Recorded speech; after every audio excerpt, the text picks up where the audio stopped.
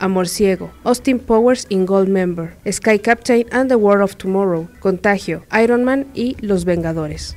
Michael Douglas, famoso actor estadounidense y productor de cine, nació el 25 de septiembre de 1944. La vocación de actor la lleva en las venas, pues es hijo de Kirk Douglas, pero a pesar de esto siempre demostró que no necesita el apellido de la familia para resaltar dentro del ambiente hollywoodense. Su carrera comienza con el pie derecho, siendo protagonista de la serie Las calles de San Francisco en 1972. En 1975 recibe su primer Oscar como productor por la película One Flew Over the Cuckoo's Nest, la cual fue protagonizada por Jack Nicholson. Se convirtió en actor seguro del Oscar, pues volvió a sorprender ganando la estatuilla como actor principal en Wall Street. Sus películas más taquilleras son Fatal Attraction, Basic Instinct, Acoso, The Game, Don't Say a Word. En el 2011 le fue otorgado el premio Kirk Douglas de manos de su padre.